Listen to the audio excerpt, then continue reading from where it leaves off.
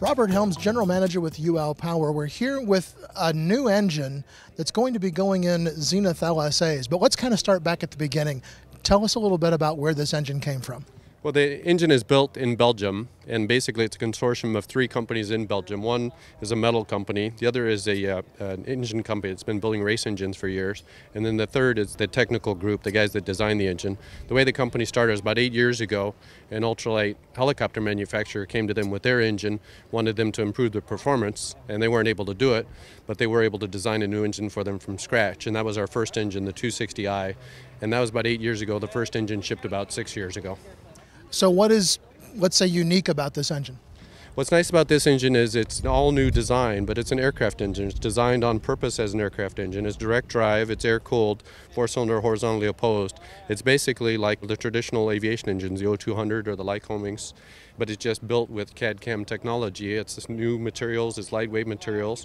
We're basically 30 horsepower more than the O200, but we're 80 pounds lighter and that's through a combination of new technology plus the manufacturing capabilities and the materials.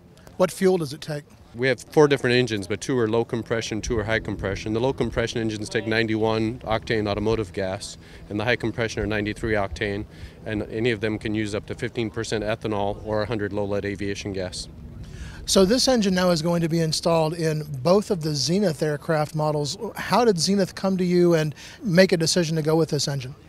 Well, Zenith was interested in offering another opportunity to their customers so that they had a choice of the full spectrum.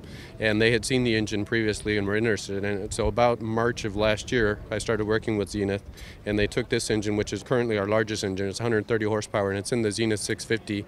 And there's a firewall forward kit available for the 650 as well as the 750. And so, they basically took the engine, developed the mount and the cowl, and then we have some optional kits that they use, you know, to attach it to the airframe. The 130 horsepower engine today is about $22,000. The firewall forward kit's about $4,000. So for about $26,000, you get a nice 130 horsepower engine in either of the Zenith models. And then they're using our smaller engine. They're developing a firewall forward kit for the 701, the small Zenith. So what advantages then does that bring to the Zenith and other LSAs in which it might be installed? Well, what's nice about this engine is not only is it traditional aviation technology and air cooled and direct drive, but it's got multi-port fuel injection. So there's four injectors and they're close to the cylinders, and so less chance of vapor lock. So in the cockpit, there's no primer because the injectors are right at the cylinders, so it's easier to start it.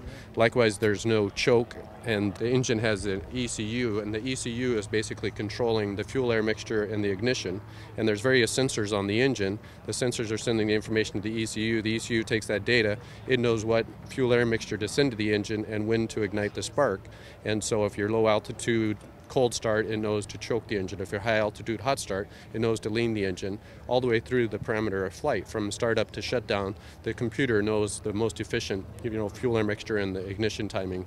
So in the cockpit, all you have is throttle. There's no mixture, no choke, no carburetor heat, no primer. So it's much easier operation.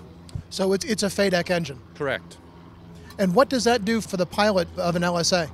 FADEC basically is full authority digital engine control, and so it's exactly that. You get in the plane, you crack the throttle, you turn the key, and you start it, and let the engine warm up, push in the throttle, and you go. And you want to land, you pull the throttle back. There's no choke, so ease of start. There's no primer, and then all through the perimeter of flight, you don't have to mess with the mixture. On landing, you don't have to worry about carburetor heat or in weather. So it's just the throttle. If you look at the panel of this airplane, the combination between the avionics and the lack of engine controls, it's a very clean, very simple panel, much easier less things to focus on inside the plane so you can keep your eyes outside and fly the plane. And basically decreasing cockpit workload. Oh, yeah, substantially. When you're talking about flying an LSA and the pilots who might get into an LSA, does that really help lower the barrier, in your opinion, to people who might want to begin learning to fly an airplane in an LSA?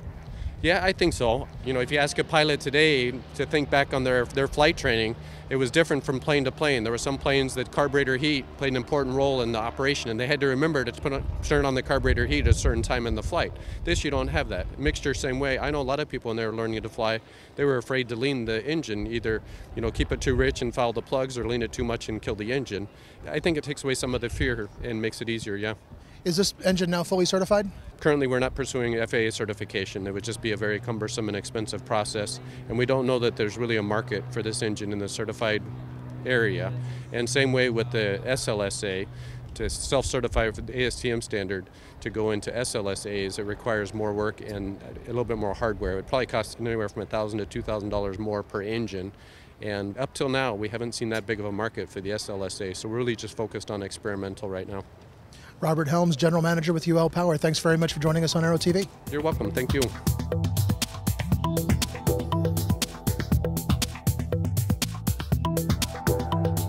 Aero TV is brought to you by the DFC 90 all digital attitude based autopilot delivers significant performance and safety improvements over previous generation systems.